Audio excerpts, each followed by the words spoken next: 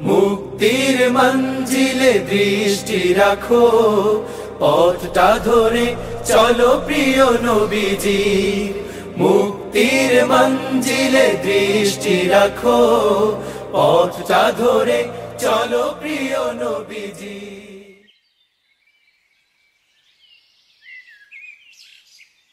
এই জুবাইর কি খবর তোমার ভাইয়া? এই তো ভাই আলহামদুলিল্লাহ ভালোই আছি।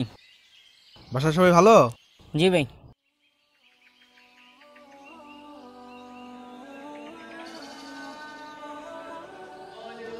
এই একামত হচ্ছে।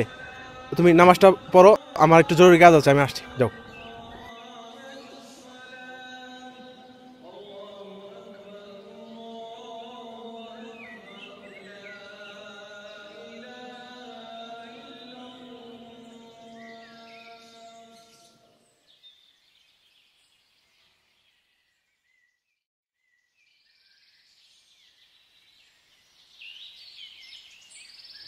এই সালমান খারা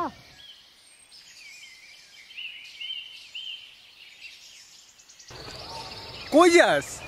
এই তো সামনে। অনেকদিন পরে দেখাল তাই না রে? হ্যাঁ কি আর করব কলেজ টলেজ বন্ধ। সারাদিন কি করোস বসে বাসায়? থাই বাসাই থাই। আচ্ছা আর একটু বেরোই বিকালবেলা এই তো হাঁটতেছি। বিকেলে বাইরস না? হুম। তাহলে কল দিস। আচ্ছা ঠিক আছে। আচ্ছা দোস্ত তুই একটু দাঁড়া। এই ব্যাগটা ধর আমি আইতেছি। কেন? কই যাবি? তুই একটু দাঁড়া আমি নামসটা পড়ে আইতেছি। তা আমি কেন একলা খারাই থাকব? থাক কি আর করবি? আরে চল আমিও যাই। আর তুইও যাবি? চল। আচ্ছা ঠিক আছে আয় চল।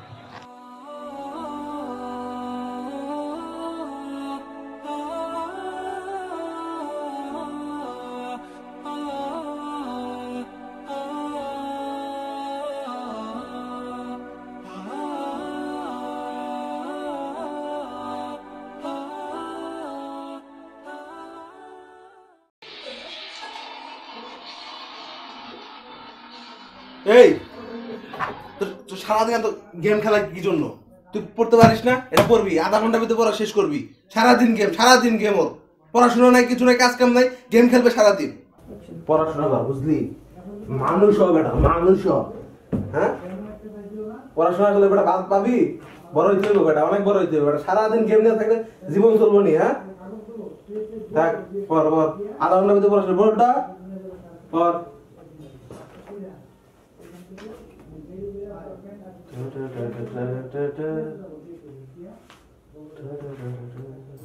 যদি কোনদিন পথ ভুলে যাই, হাত ছানি দিয়ে কাছে নিও।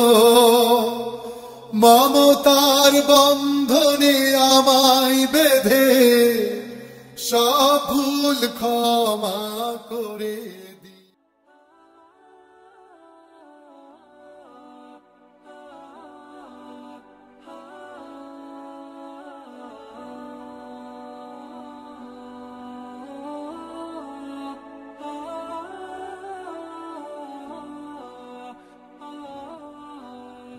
দি কি রে হাসস কে?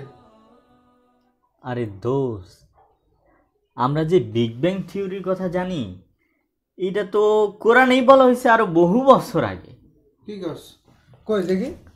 আচ্ছা তুই কি বিগ ব্যাং থিওরি মানে কি বোঝস? হ বিগ মানে বড় হুম। আর ব্যাং মানে ব্যাং বিগ ব্যাং মানে হইতেছে বড় ব্যাং এটা তুইও জানাস আমিও জানি।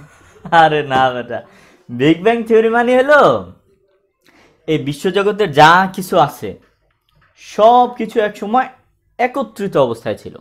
তারপর এক মহা বিস্ফোরণ ঘটে এবং সৃষ্টি হয় আমাদের এই সৌরজগৎ চাঁদ সূর্য নক্ষত্র তারা গ্রহ উপগ্রহ এই সব কিছু। আচ্ছা আচ্ছা। কোরআনে ওকে এইটাই লেখা আছে? হ্যাঁ। কই? দেখ? আওলাম ইয়ারল্লাজিনা কাফারু। অবিশ্বাসীরা কি ভাবিয়া দেখে না?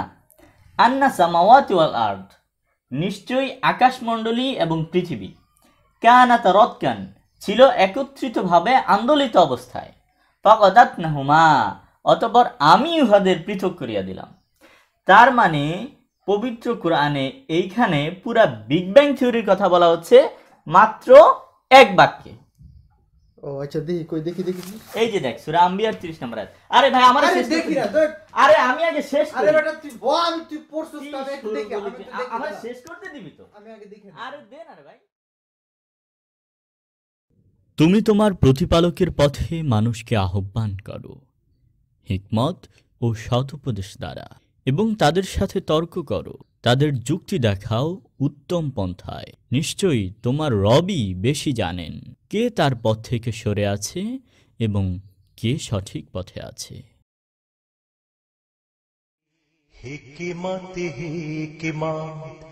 বলে বলে কেন ভাই? দূরে সরে যাও কাফিলা থেকে। হিকিমত হিকিমত করে করে কেন ভাই? নিজেকে লুকাও মিছিল থেকে। যে কাফেলাও মোরে যে কাফেলা হাম